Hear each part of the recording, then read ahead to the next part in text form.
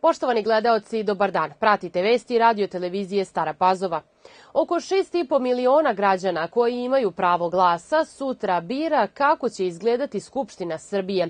Uz to birači u Vojvodini glasaće i za pokrajinski parlament, Beograđani će birati i novu gradsku vlast, a građani u još 65 opština i gradova odlučivaće o novim lokalnim vlastima u svojoj sredini.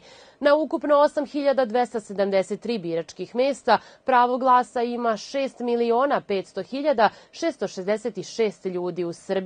Oni će se opredeljivati između 18 izbornih lista za parlamentarne izbore, 14 lista za beogradske i 13 lista za pokrajinske izbore.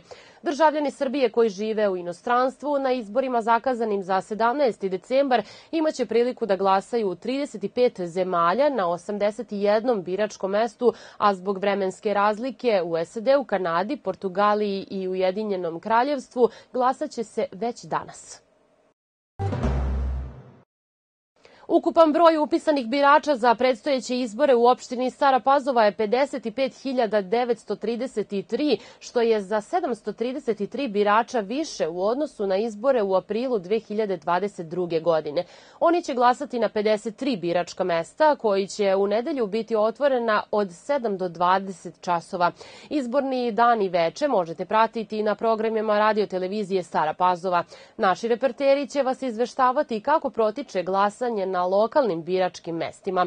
Izlaznost, ankete, vesti i rezultate kako su glasali građani opštine Stara Pazova možete gledati na našem televizijskom programu, slušati na talasima radija Stara Pazova, čitati na sajtu rtvstarapazova.rs, a bit ćemo aktivni i na društvenim mrežama.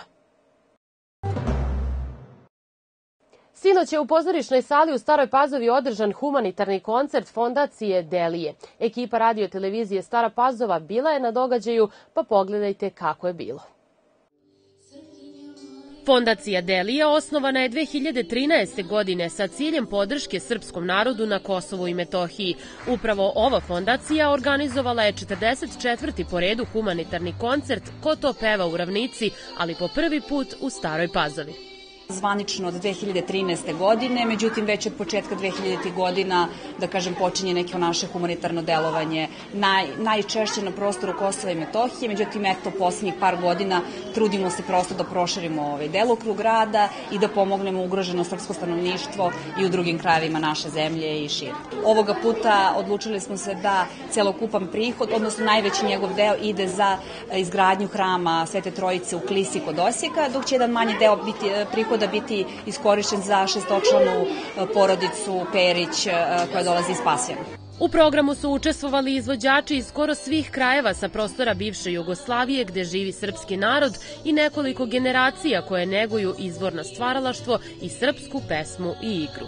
Već duži niz godina sarađujem sa fondacijom Delije, je tako i postali smo i prijatelji i hvala Bogu imam i priliku i da na ovaj način pomognem našem narodu kako na Kosovu, tako evo sad ovaj put i u Osijeku. Ansambl Kosovski Božuri, ansambl koji već postoji 18 godina i mi smo praktično u trećoj godini našeg postojanja počeli da pevamo sa fondacijom Delija za naše Kosovo i Metohiju, tako da ovo nam je 41. put od 44 održanih koncerata.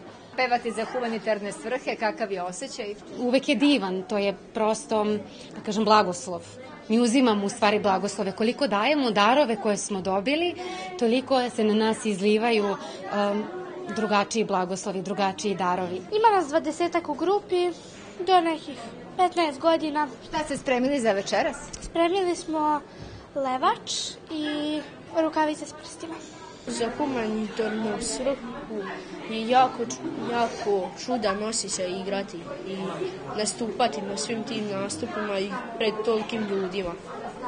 Čudan znači lep osjećaj? Da jako lep osjećaj.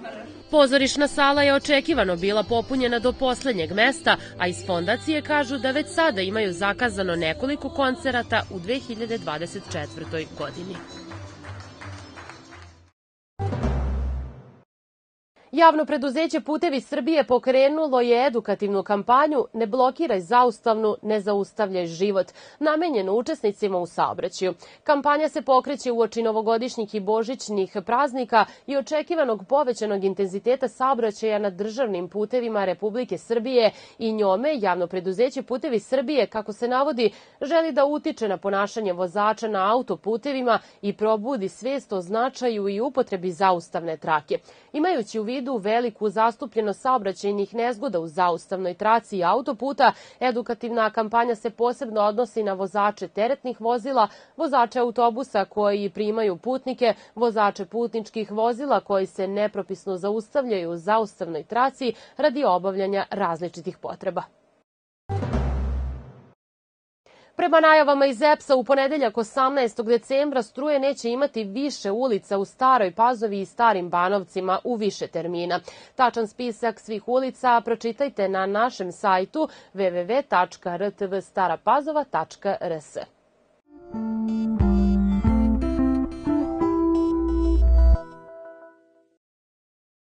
Sutra ujutru slab mraz. Tokom dana malo i umereno oblačno i suvo vreme. Vetar slab do umeren severozapadni. Najniža temperatura od minus 5 do 0. Najviša dnevna sutra od 3 do 8 stepeni.